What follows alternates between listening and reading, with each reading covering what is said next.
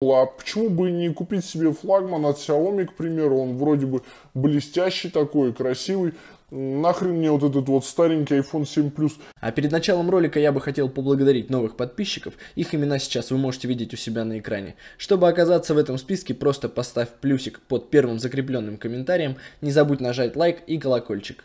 Что выбрать на данный момент? Э, новенький смартфон от Xiaomi или либо старенький смартфон от Apple? Вопрос довольно спорный. Давайте разберем плюсы и минусы двух вот этих вот гаджетов и решим, какой же все-таки из них лучше. Для начала давайте посмотрим на внешний вид. Для этого нам потребуется снять чехол. Как же я не люблю постоянно в роликах снимать эти чехлы. Чего не сделаешь ради подписчиков. Вот так примерно два смартфончика лежат в руках. Всем знакомый старенький уже довольно iPhone 7 Plus, который выглядит практически так же, как иPhone 6 Plus, который вышел, мать его в 2014 году и новенький блестящий современный Xiaomi Mi 9. Давайте вот минуточку просто рассмотрим их, как они выглядят, и вы напишите в комментариях, какой, по вашему мнению, смартфон симпатичнее. Вот так выглядит Xiaomi Mi 9, закругленное заднее стекло, э, шлифованные грани, выпирающий модуль камер, абсолютно практически безрамочный экран с небольшой вот тут вот точечкой, вырезом камерой. И, ну, блин, прикольный современный смартфон с OLED-экраном и всеми-всеми плюшками. И довольно старый, но, блин, от этого не менее практичный смартфон, матовый, абсолютно алюминий, мало выступающая камера, это уже довольно дико для нас, потому что сейчас уже камеры стали торчать на полметра из смартфонов, чуть ли не толще в два раза самого смартфона камера. Здесь же такого нету, то есть очень лаконично. И вот если смотреть именно на задники этих двух смартфонов, черт возьми, честно, мне больше нравится iPhone, вот хоть убей, потому что какие-то более отточенные линии, более практичный корпус, не марки совсем. Все как-то более продумано, как по мне, и ну, тут практически точно я бы выбрал iPhone, абсолютно уверен в этом. Если поговорить о фронтальной панели, то тут будет глупо отрицать прогресс, и видно, что рамочки на этом смартфоне совершенно узенькие, полезная площадь экрана намного больше, чем на iPhone 7 Plus. И с этим уже абсолютно ничего не поделать, потому что вот эти вот два огромных выступа, они у нас здесь ослались и никуда не денутся. Здесь же в современных смартфонах мы видим, что, как я уже ранее сказал, полезная площадь экрана используется абсолютно по максимуму. А, небольшой только вырез под фронталочку и все. И да, как только появились а, смартфоны безрамочные, мне это безумно понравилось. Я помню, как я хотел себе хоть какой-нибудь безрамочный смартфон, потому что это что-то новое, что-то необычное тогда было. Но, честно признаюсь, попользовавшись после этого многими Xiaomi, iPhone 10R, iPhone 11, и когда я беру в руки iPhone 7 Plus, никакого дискомфорта не испытываю. Абсолютно ноль дискомфорта. Прям вот гарантирую, ребят, если у кого-то такая ситуация в жизни будет, что вы будете переходить вот на такой вот рамочный смартфон, знайте, ничего в этом плохого и страшного нету. Разве что до верхнего края экрана теперь можно дотянуться, а если вы пользуетесь, например, Xiaomi, у вас это не получится сделать. Поэтому в плане удобства даже, возможно, вот этот экран будет более практичный. И давайте вспомним, что мы чаще всего делаем на своих смартфонах. Переписываемся и смотрим ролики. Если тут говорить про YouTube конкретно, то можно заметить такой вот небольшой нюансик, что в основном сейчас все ролики, они не в широком формате снимаются, а в формате 16 на 9, то есть как раз вот под рамочки айфона. А здесь же у нас формат намного шире, соответственно, более узенькие рамки и видео будет более широкое, и вы выбираете либо смотреть его вот в таком вот формате, чтобы оно обрезало, ну, чтобы черные полосы были по краям, либо раздвигать его, и тогда видео обрезается сверху снизу, и тогда уже идет на весь экран. Поэтому в плане роликов еще более практичен сейчас на данный момент 7+. В будущем, конечно же, скорее всего, ролики станут более вытянутыми, и тогда а, уже первенство возьмут вот эти вот безрамочные смартфоны. Казалось бы, столько лет прошло. 2016 год, 2019 год, целых три года прогресса. Что изменилось на данный момент? Очень много. Сейчас массово стали вводить вот эти вот OLED-матрицы, безрамочные экраны и вот эту всю хрень, широкоугольные камеры, которые ну, мне не особо-то и нужны. Здесь же по стандарту две камеры это обычный и телевик. На телевик можно делать суперские шикарные фотографии, которые просто не стыдно показывать своим знакомым, выкладывать в Инстаграм. Кстати, напомню про свой Инстаграм, там я частенько выкладываю фотки с различных смартфонов. Если кому будет интересно, обязательно подпишитесь, ссылка будет в описании. Фото и камера здесь а, вообще отлично, видео записывает тоже отлично.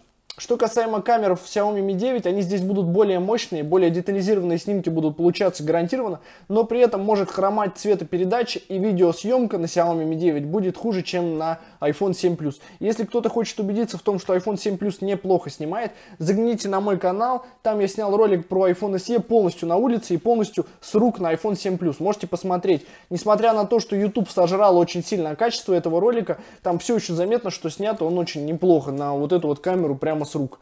Ну, это не может не радовать. Поэтому в плане камер и в плане каких-то а, вот этих вот всех плюшек фотографий iPhone 7 Plus все еще неплох и вполне может конкурировать с Xiaomi Mi 9 а по видеозаписи вообще ему задницу надерет, как я уже сказал. Если мы поговорим про производительность, то тут тоже все неоднозначно, потому что Xiaomi Mi 9 безумно мощный. Это просто ракета. Он работает быстрее, чем ты думаешь. То есть, что бы ты ни открыл, все происходит супер быстро и четко. Но загвоздка в том, что iPhone 7 Plus тоже очень быстрый. И какое бы приложение вы на нем не открыли, что бы вы от него не требовали, все происходить будет с такой же скоростью. Это же касается и производительности в играх, и вообще в общем производительности. Тут тоже по одному баллу можно добавить этим двум смартфонам. Как я уже сказал, корпус более практичный на iPhone айфоне. Производительность плюс-минус одинаковая и там, и там. Камеры мне больше нравятся тоже на айфоне, потому что по видеосъемке он круче и по цветопередаче будет более точным. Но, конечно же, если вы хотите более эффектный и вызывающий смартфон, хотя я сомневаюсь, что кого-то на данный момент можно удивить безрамочным смартфоном. Это, по-моему, уже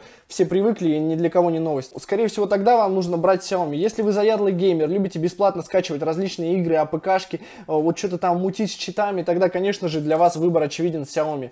Если же вы привыкли к системе iOS и до этого пользовались iPhone, ну, допустим, у вас был iPhone 6, и вы решили обновиться, и вот теперь у вас выбор, потому что iPhone 7 Plus и Xiaomi Mi 9 стоят примерно один одинаковый, и ты подумал, а почему бы не купить себе флагман от Xiaomi, к примеру, он вроде бы блестящий такой, красивый, нахрен мне вот этот вот старенький iPhone 7 Plus. Тогда, мой друг, я тебе категорически советую купить все-таки iPhone 7 Plus, потому что тогда ты с большей долей вероятности не разочаруешься, так как ты уже привык к системе iOS, ты уже в ней как рыба в воде плаваешь. Соответственно, у тебя не будет проблем никаких с адаптацией, ты просто восстановишь свою резервную копию на этом айфоне и продолжишь пользоваться его отличной камерой, хорошим четким экраном, отличной автономностью и скоростью работы. То есть все с ним будет хорошо. Но если ты до этого пользовался, к примеру, каким-то андроидом, и тебя не смущают вот эти вот приколы в системе, различные, может быть, какие-то подергивания, где-то, может быть, небольшие нестабильности, то, в принципе, Mi 9 отличный вариант. И будь я школьником, например, я бы, скорее всего, себе купил Mi 9, потому что в нем просто интереснее колупаться. Я прекрасно помню, что когда я учился в школе, я обожал какие-то прошивки делать, кастомные ядра накатывать, лаунчеры.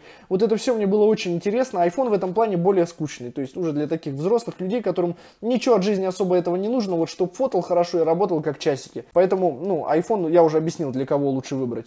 Но, ребята, ни в коем случае я не говорю, что Mi 9 это плохой смартфон, это вот такой вот телефон, мне он очень понравился. Чуть меньше, конечно же, чем Mi 8, который тоже совсем недавно я обозревал и сравнивал с Mi 9. Но Mi 9 тоже отличный гаджет, мне нравится фирма Xiaomi, они для меня вторые после Apple. Эти два смартфона это просто one love за свои деньги. В скором времени я планирую еще сравнить iPhone 11 и Xiaomi Mi 9, и там уже будет сравнение более интересное, чем здесь, потому что, ну, цена уже, соответственно, в два раза выше, и выбор совсем будет неоднозначен. Здесь же за одинаковый ценник я бы для себя с большей вероятностью выбрал iPhone. Напиши, что бы выбрал ты в комментариях. Спасибо большое, ребят, за просмотр. Тем, кому понравился ролик, обязательно поставьте лайк.